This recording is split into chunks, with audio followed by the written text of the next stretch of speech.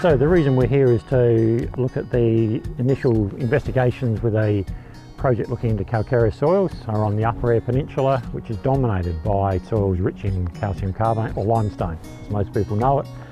What soil scientists have is a simple field test to detect the presence of limestone in the soil. Uh, so it's a simple field test. We can support with a laboratory test, which give you a more accurate measurement, but it's a pretty handy uh, test to use in the field. So what I have here is dilute acid and that will react with any limestone in the soil material and will bubble if there's limestone present.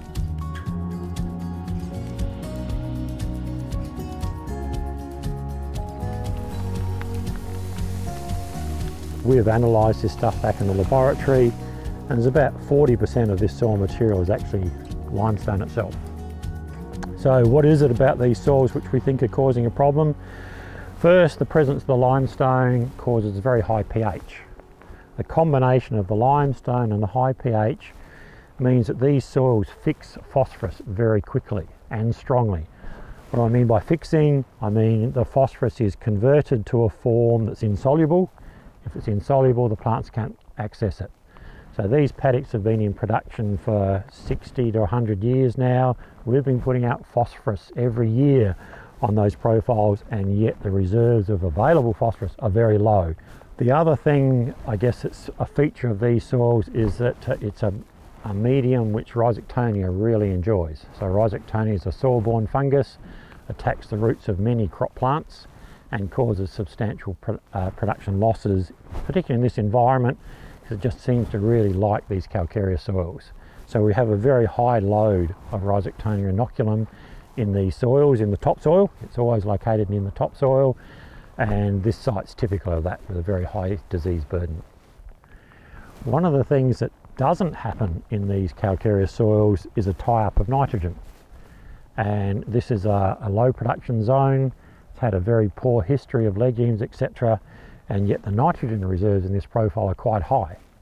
You know, we think that indicates that this is a fairly toxic and difficult profile and the crops aren't accessing what would normally be a very important nutrient for the crops to use.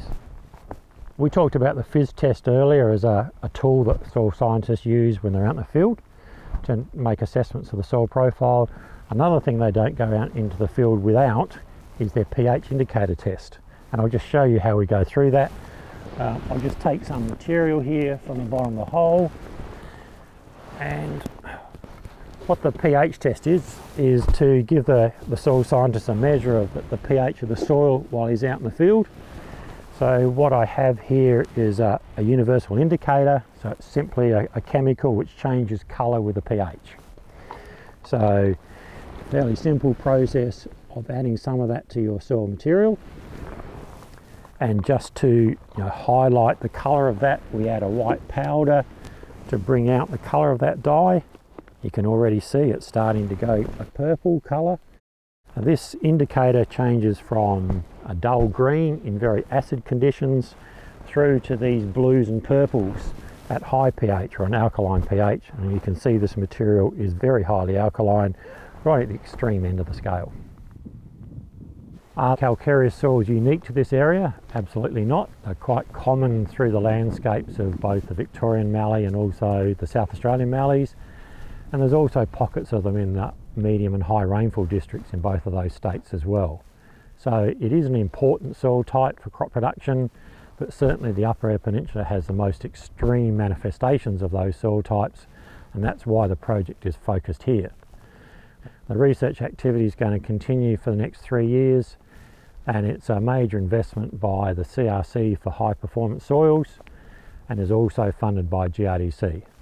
Its major partners who are going to deliver that research is PIRSA, which is the Agricultural Department in South Australia, New South Wales DPI, who have a lot of soil science expertise they're providing to the project, and CSIRO are also working on the soil microbiology and the water holding characteristics of these soils. So that's why we're here, and what we have is a demonstration site we've set up just to showcase the trial to the, to the local landowners and to demonstrate the sort of issues that we'll be tackling in the project. Okay, here we are at plot one. This is a plot where we've deep ripped prior to sowing, but where we've added a material to try and add value to that operation. In this case, it's adding biochar, which has already been coated with a high rate of fertilizers as well, and it's our best performing treatment at the moment. So is that profitable? No idea, probably not. This is just showcasing it, but it's producing the best barley in this demonstration.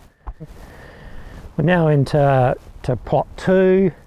This was a, a, a treatment to showcase the, the problem of fertilizer toxicity at sowing time on these calcareous soils. So the farmers are using quite low rates of fertilizer, but still are running into toxicity problems where germination and emergence have been reduced by that the fertilizer in and around the seed row. We've tried to showcase that issue here uh, by adding higher rates of fertilizer right into the seed row and it's almost had no impact. And that's one of the issues with this environment. We really can't predict some of these things. We've got to understand the soil conditions better so we can manage the problems more easily. The next treatment we have in plot three, this is another deep ripping treatment. In this case, we've added an animal-based manure to the to the prior to the deep ripping to incorporate into to the soil to see whether that enrichment of the profile with organic matter and nutrients can improve crop production. And so far we've seen very little benefit of that. It's a treatment that works spectacularly in other environments. It's had almost no impact here at all. Number four, which we have here. So this is our benchmark. This is standard uh, practice for crop husbandry in this environment. You can see the crop production struggling on this soil type in this season. And a feature of these of these crops on this soil is uneven crop production and you can see how wavy this crop is with extensive poor patches. One of the major contributors to those patches is Rhizoctonia and that's certainly causing these plots to struggle and overall production is pretty poor. On my left hand side, it, in contrast, you can see some plots that have done really well in a pretty tough season. What's the difference between these two plots? This plot was deep rip prior to sowing. Otherwise, the management is the same. Now, deep ripping is proving very popular on siliceous sands. The history of deep ripping on calcareous sands is they don't work. Obviously that's not the case here. Uh, major production increases and we're looking at 50% increase in biomass by deep ripping compared to our standard practice. What's the difference between this and, and where we've deep ripped before on these soil types? One of the differences is we deep ripped with inclusion plates in this case. That's a far more vigorous deep ripping operation and clearly you can see the barley production has benefited from that approach this year. Uh, the last treatment that we're showcasing in this trial is what we've called the anti-rhizoctonia package. So this is our attempt to control the rhizoctonia, one of the major diseases in its environment. We've used a combination of extra fertiliser, some ammonium-based fertilisers which are known to have disease controlling properties in other environments, and some fungicides which are registered for the uh, suppression and control of rhizoctonia and had had very little impact either on crop production or disease levels in this trial. So again, some of these products really are struggling to work in this environment. We need to understand those so we can get better value from them. Once the project gears up properly next year, we'll have three other sites on the Upper Eyre Peninsula to investigate more intensely these issues of calcareous soils in slightly different locations. There'll also be a satellite site in the southeast of South Australia, so that's to contrast the behaviour of these calcareous soils in a very different environment. And none of this research will be any good if nobody hears about it, so an important part of our team are two local farming systems groups. On the Eyre Peninsula, uh, we're partnering with AIR EP to make sure that the results get out to the landowners and the advisors. And in the southeast, MacKillop Farm Management Group will be the extension vehicle for all the results and to communicate how the project's progressing with the local community.